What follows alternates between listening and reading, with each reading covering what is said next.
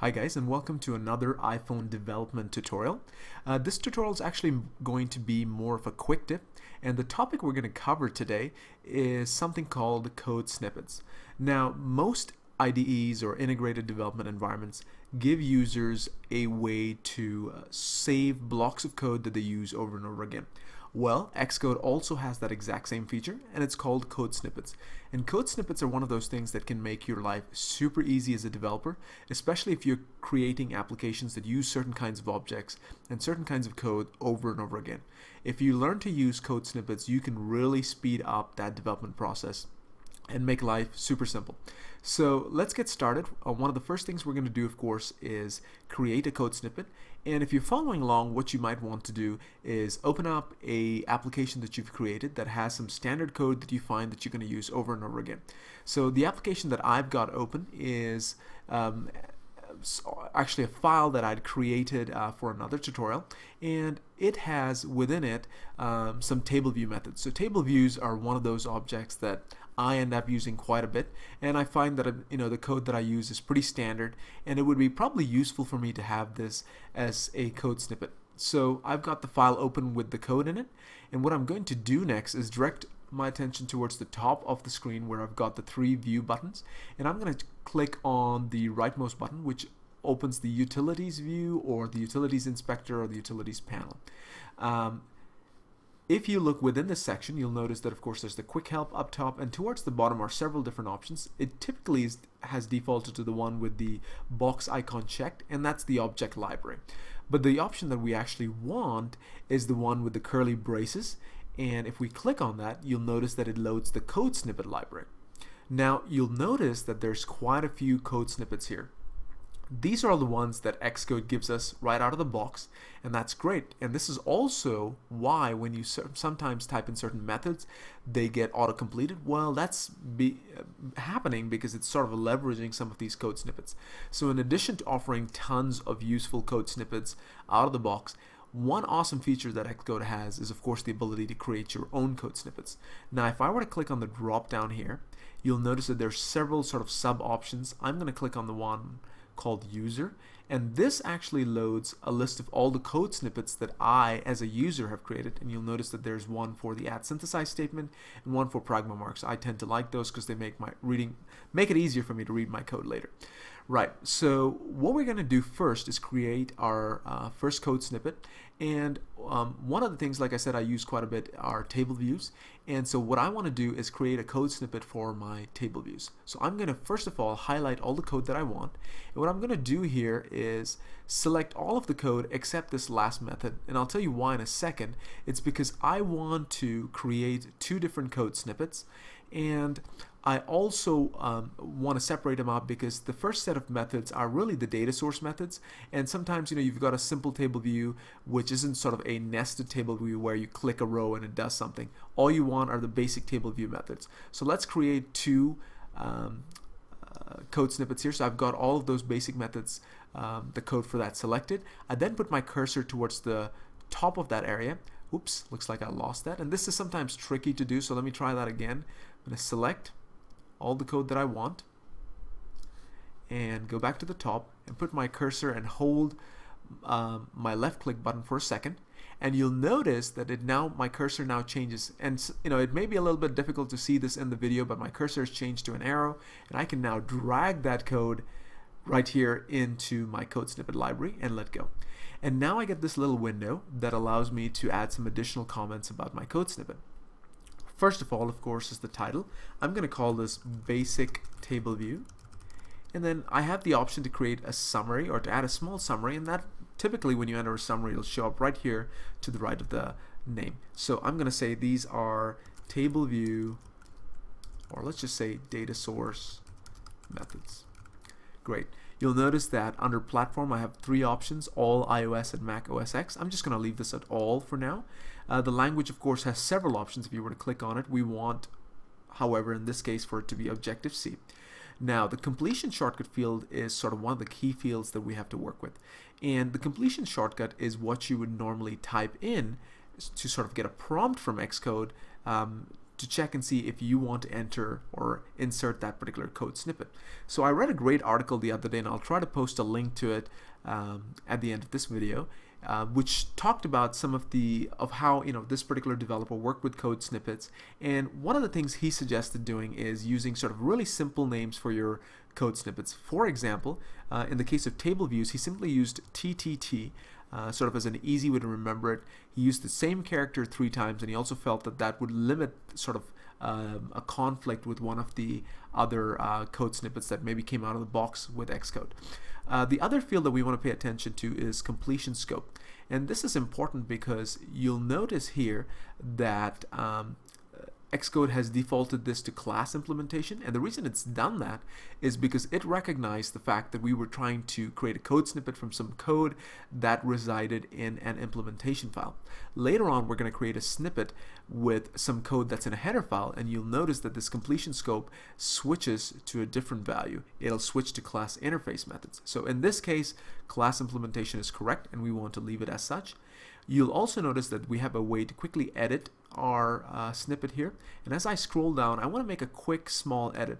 You'll notice, of course, that within my standard code here, I'm returning something called underscore list.count. Well, underscore list is an instance variable that is part of my project here, and it's simply an NSArray object. Now, obviously, I won't name my instance variable or at least I'm less I'm not it's not likely that I will name it the same in another project. So what I can do or what Xcode allows me to do is actually replace this with a placeholder and the way I create the placeholder is I highlight the text I want to replace use an angled bracket a pound symbol and then just give it a name. So in this case let's just say I'm gonna replace it with uh, a placeholder called array name and we close it with a pound symbol and then uh, another angle bracket great so I'm also going to highlight this uh, placeholder name and I'm going to do a command C to copy it because I happen to know that there's another instance in the code where I'm referring to my particular instance variable. So let's just scroll down real quick and see if we can find that.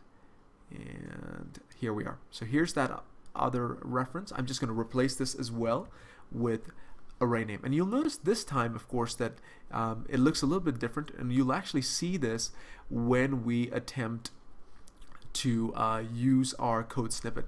What's going to happen by us replacing this with sort of a placeholder value if we have two of these values side by side, we can actually tap from one to the other and it makes it again super easy to update. So that should be it. I'm going to hit done and my code snippet has now been created.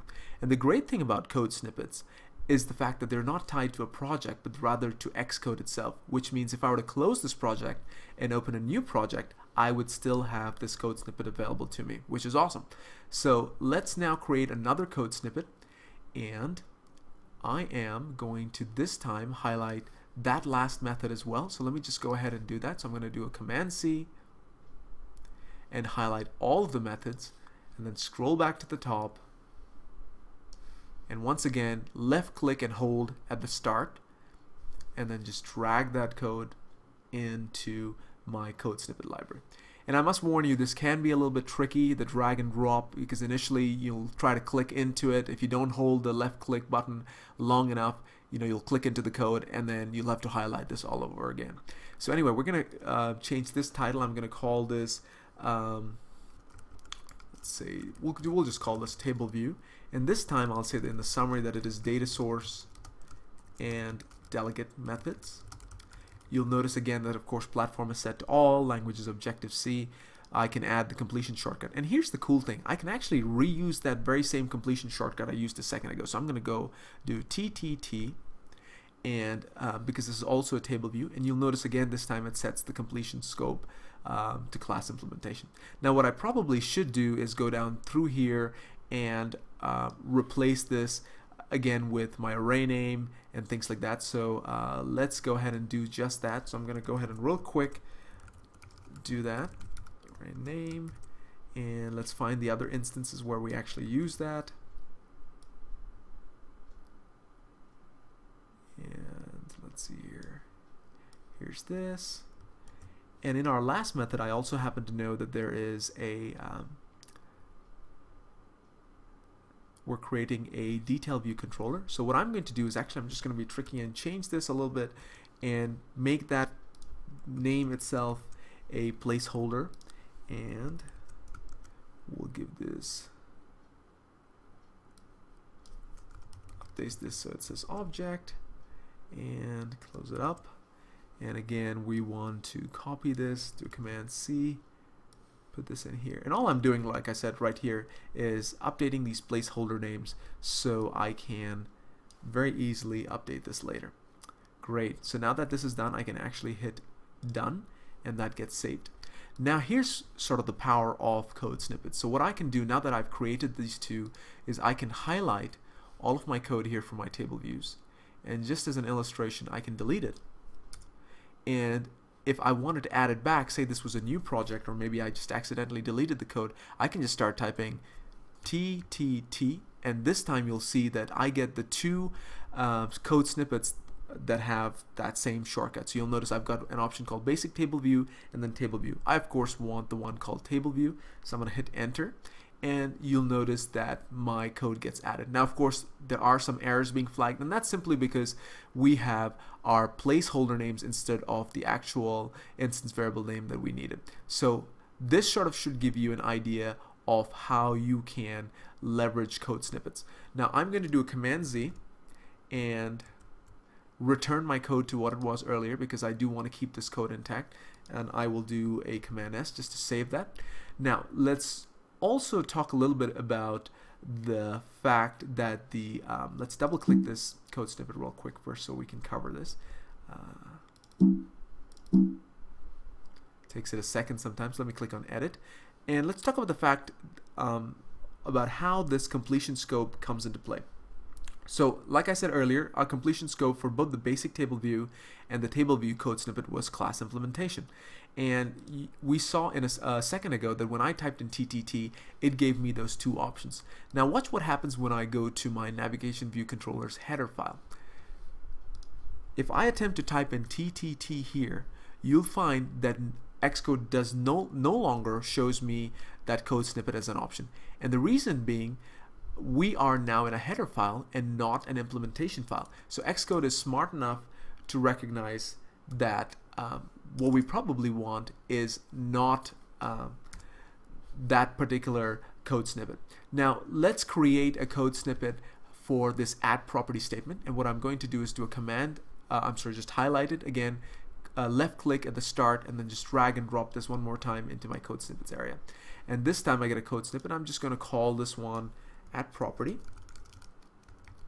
And let's see here. We want to probably change this as well let's change this to uh, object. And we'll just call this variable name. That seems simple enough. And before we close this out and click on done, I want to point out, look, take a look at the completion scopes. The completion scope for this uh, particular uh, code snippet has been set to class interface methods. It was previously set to class implementation. The reason it's set to class interface methods is because we are within a header file. Now I do need to type in a completion shortcut and just even though this is counterintuitive, I would normally select um, a shortcut like PPP to sort of remind me that that's the shortcut for the at property statement. But in this case, just to illustrate, I'm going to use TTT one more time and I'm going to hit done. Now, we now have three code snippets in here that share that same shortcut. This time you'll notice that when I start to type in TTT within my header file, the only option that comes up is the at property. Again, the reason this is occurring is because of that scope. So Xcode knows that when we are within a header file, it will only show us the relevant code snippets based on the scope. So I hope that this particular um, tutorial has been useful to you. Code snippets can be incredibly useful. It can make development super fast, especially when you're reusing some standard code. Um, make sure that you also remember to actually use the code snippets. I think that's one of the biggest drawbacks or sort of one of the biggest things that hold people back is they forget that they've created these snippets. But if you create snippets for all of the code that you reuse and remember to use them, I guarantee that your development lifecycle will be shorter and things will be much smoother. Thanks for watching.